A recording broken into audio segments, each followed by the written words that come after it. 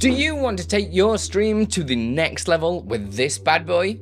It's completely controlled inside of OBS, meaning you can edit all the sources without needing to know how to code or anything. You just need to know how to use OBS. I'm going to walk you through installing it and troubleshooting steps if you have any issues at all. Did I mention it is completely free too? Let's get into it. Put your rock in for the stone. Heyo, duckies! Andilippi here. Uh, there are a few important things I should mention. This product and the other StreamUp products only support OBS 28 and above.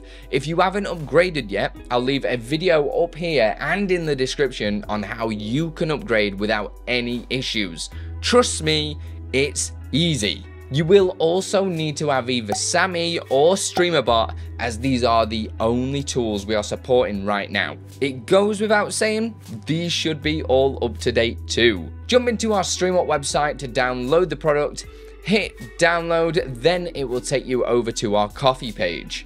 We would love it if you considered putting in a dollar or so as it will go a long way in supporting us making these incredible products for you. If you cannot afford a dollar, you can just put in a big fat zero in the box, then proceed to download the product for free. The first thing we need to do is install everything in folder one. So we're going to open that up. We've got the Futura font. So double click this and it'll take you to the, uh, the website to download the font. Just hit download, as you can see just there and get that installed. Once happy with that, we're going to go to the StreamUp plugin installer. We're going to make sure we've got all our OBS plugins all up to date. This was made by Silverlink. It's awesome. So hit download and it's going to take you to our Ko-fi page. Uh, if you want to help support us, please consider banging in a dollar. It goes a huge way to, to make us keep making this these tools and content for you. Uh, and if you need any help with getting it installed, there is a video just here. Just click that and that'll take you through it all. Once that's all done, we can then open up OBS. Once in OBS, in the top left, press Tools, then Stream StreamUp, and navigate to where you saved the folder. So mine is just here. I'm going to open folder 2, which is OBS install. And then we're going to select the .streamup file just there, and that's going to create a new scene.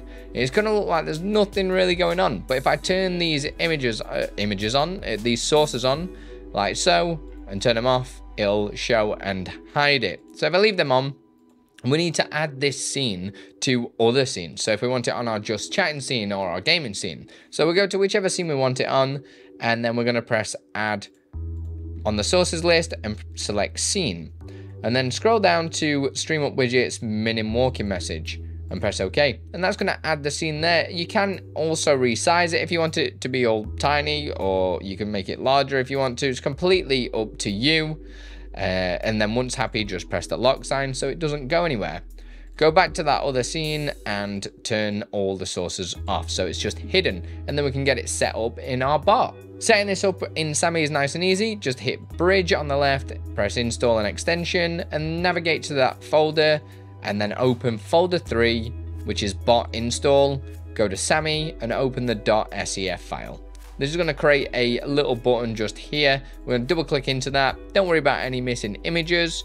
Just right click on the main button and go to edit init variables. So these are all the different messages that we want to add. So you can see Ayo Ducky, hello there, how are you?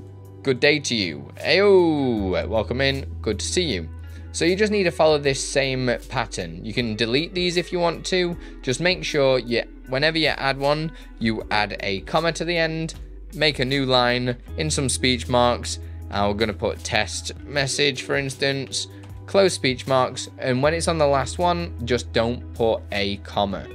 And do the same within ignored users. This is if you don't want a certain user to be mentioned in chat to come up as a welcome message, just add a comma and then do the same. We'll do test user, close speech marks, and again, because it's the last one within this section, we don't need to put a comma.